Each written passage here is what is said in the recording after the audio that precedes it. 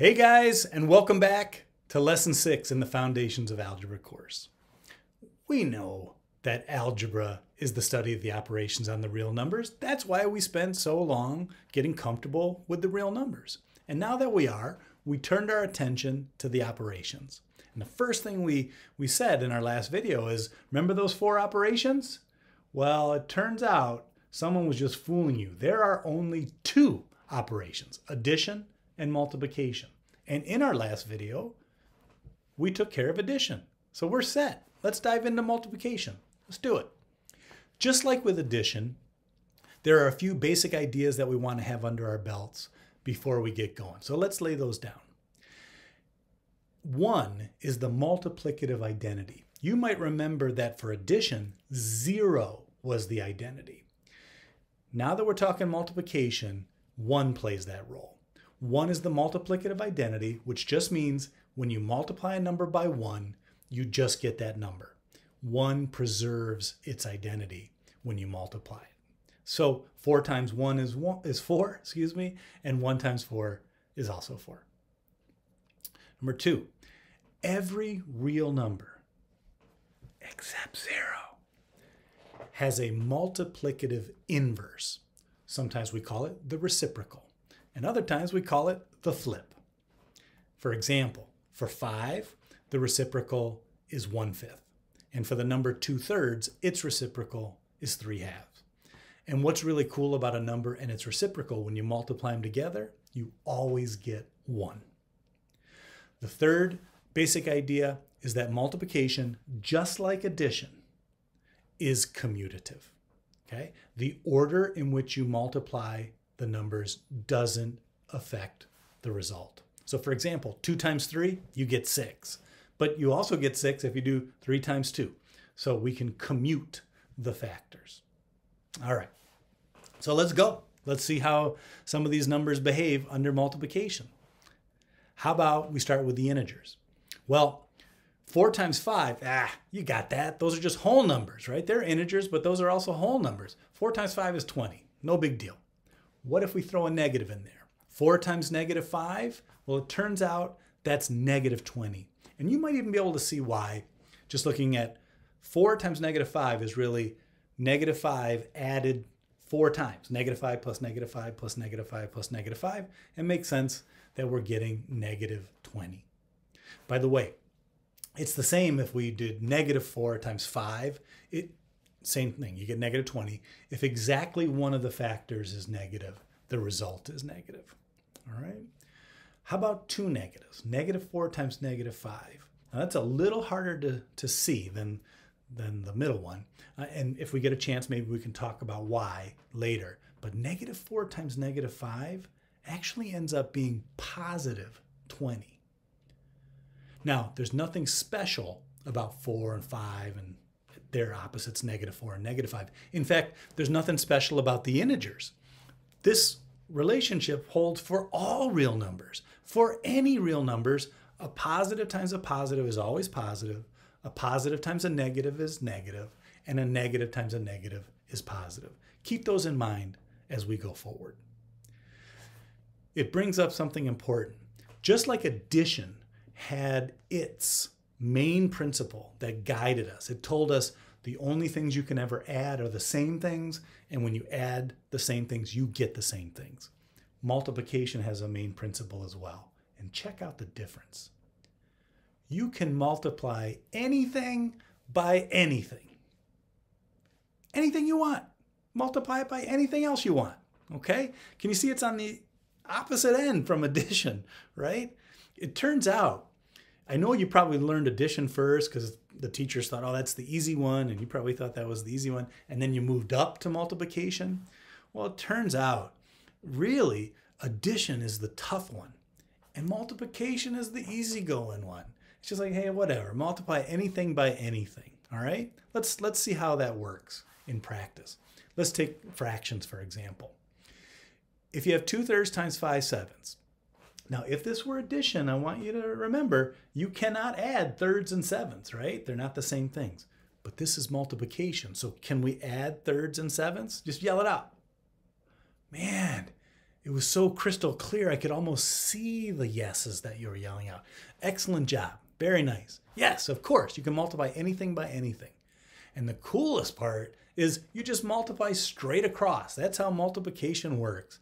So 2 times 5 is 10, and 3 times 7 is 21. Game over. See how nice that is? Here's another one, just to make sure. Can we multiply sevenths and fifths? Yes. Good. Of course, anything by anything. Just multiplying straight across, 22 35ths. 2 times 11 and 7 times 5. Could it get any better than that?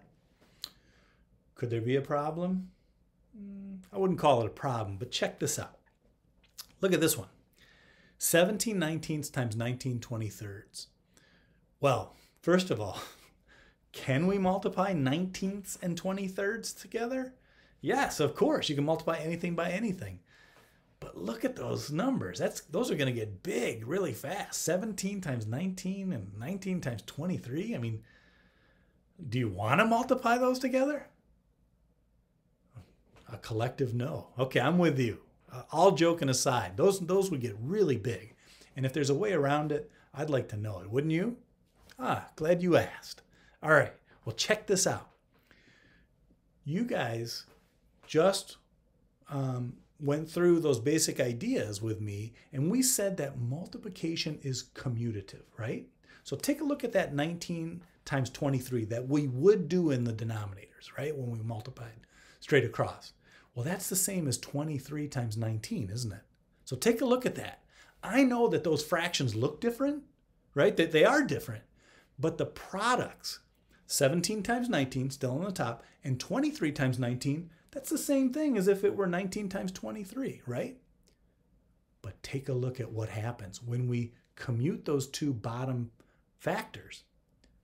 19 19ths, guys, that's just one, right?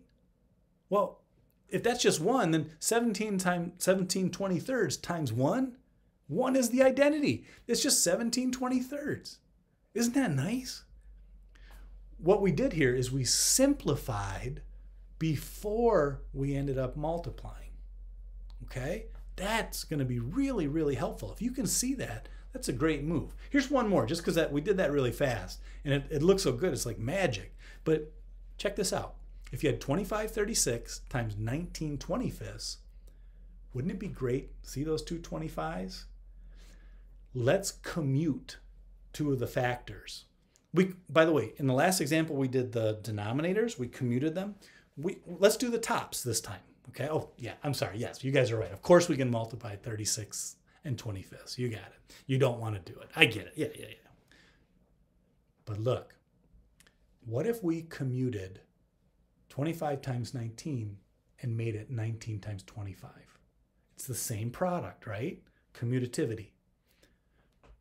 By the way, you can do the bottoms, you can commute the bottoms, you can commute the tops, but you can't do like a top to a bottom because that's not how we're multiplying. We multiply tops and bottoms, okay? Those are the things we can switch. But look, once we do that, see that 25 25th? You know that's just one. So 1936 times one is just 1936. It's great, isn't it? All right, well, here, what if it didn't quite, you don't have exactly like a one that you can make, just obviously right there? Um, sometimes you can simplify even still. Um, check this out. So the 10 and the 15, those two, even though they're not the same number, so we won't get a 1 if we commute them so they're right in line, they do have a common factor, and we might be able to simplify a little bit. So let's do this. Let's, again, Let's commute, and we'll do the tops again. So 7, 7 times 10 is the same as 10 times 7. Now, again, it's not as easy as those first two examples, not, not quite as smooth. But look at 10 fifteenths. They both have a factor of 5. So 10 is 5 times 2, and 15 is 5 times 3. So we can take out the 5 fifths one, and we would be left with what? 2 thirds, right? 2 thirds. So 2 thirds times 7 elevens. And now we still have some multiplying to do, but the numbers aren't as big as they would have been originally, right? So 2 times 4 is 14, and 3 times 11 is 33. Looking okay? It's nice. So we're use, we're simplifying before multiplying, and we're you, taking advantage of that commutative property. All right. Well, you guys know the deal with mixed numbers. We, we just don't deal with them, right? We, we don't operate with mixed numbers. So if you're asked to multiply those two, just quickly convert them into fractions, and now we're back to normal, okay? Multiply straight across, we're good to go. Nothing to it. Don't operate on mixed numbers. Just convert them into fractions and go. All right, how about decimals? Well, you might ask yourself, well, do I need to line up the decimal points again like we did with addition? And you know the answer to that. No, right? No way. Why? Because that was all about lining up the decimal places so you could add tenths with tenths, hundredths with hundreds, etc. With multiplication, that's not important. So, for example, take a look at this. See, the decimal points aren't lined up. Line them up however you want. It doesn't matter. Tell you what, I'm going to write. I haven't been writing much this lesson. I want to do a little bit of math. So let me multiply this out. So you ignore the decimal points really at the beginning. Just multiply like you would if they were whole numbers. So 1 times 4 is 4, 1 times 1 is 1, and 1 times 3 is 3. So let me drop my 0 here as I go to the 2. 2 times 4 is 8, 2 times 1 is 2, and 2 times 3 is 6. If I add those guys up, think I'm getting that. All right? Now, the only thing I have to worry about, and this is the only thing that you have to concern yourself with with multiplication and decimals, is making sure the decimal point in the answer ends up in the right spot. Well, the way you do it is you count how many decimal places um, are in the two factors. So I count three, two in the top factor and one in the bottom factor. So a total of three. So that means my answer also has to have three decimal places. So one, two, three, I'll put the decimal point right there. And if you look, that makes total sense, right? It's a number close to three times a number close to two. So the answer better be in the neighborhood of six. So the decimal point only makes sense right there, doesn't it? Three places because I got three decimal places in the, in the factors that we multiplied. All right, looking okay? All right. How about our last group, the irrationals? We've been talking about the roots. Um, so let's say someone asked you to multiply square root of 2 times square root of 5. And remember, if we were asked to add those two things, we would say, no way, can't do it. They got to be the same. But this is multiplication. So can we multiply those two? Of course. Of course we can. And you know what we end up with? Square root of 2 times square root of 5. You just multiply the two numbers underneath the roots. So we get square root of 10. That's all there is to it. Before I leave you, I just want to talk very briefly about applications of multiplication. What you'll find is that shows up when you're given some information about one one item, uh, you know how how much each thing weighs, or per per one. That's that, those are common terms you might see in in multiplication problems. And then at being asked for a total. Okay, like for example, here I'll just it's easier to give you an example than to talk about it. Let's say gas costs two dollars per gallon. How much would ten gallons cost? All right, well, ten times two, um, that gives me twenty, so it would cost twenty dollars. Okay, multiplication used there. Or each candy bar has five grams of fat. How many total grams of fat are there in four candy bars? All right, well, you take five times four and you get 20, 20 grams uh, total.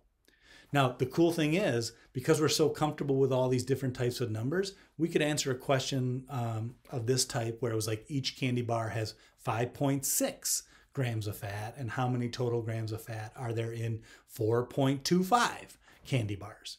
We can, we can multiply those decimals just the same. All right, no big deal. We're in awesome shape. I'll tell you what, let's call it a day. Um, and I'll meet you back in lesson seven. Keep up the great work. I can tell you're working hard and it's really, really showing. I'll see you in a bit.